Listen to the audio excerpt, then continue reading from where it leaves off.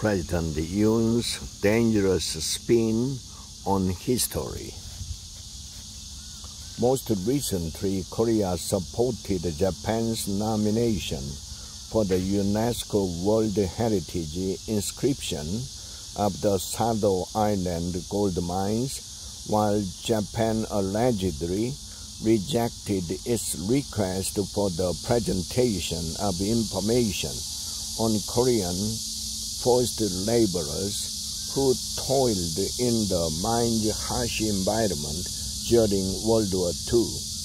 Instead of igniting conflict and division, you should try to help achieve consensus and harmony by healing the old scars and filling chasms, given the painful journeys that different groups of the nation have taken in coping with the rough tide of history, including the methods of the independence movement.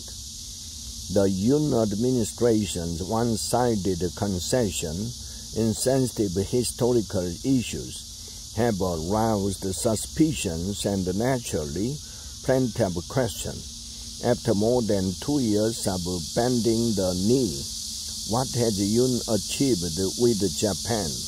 And what does he ultimately intend to achieve through his diplomacy of subservience.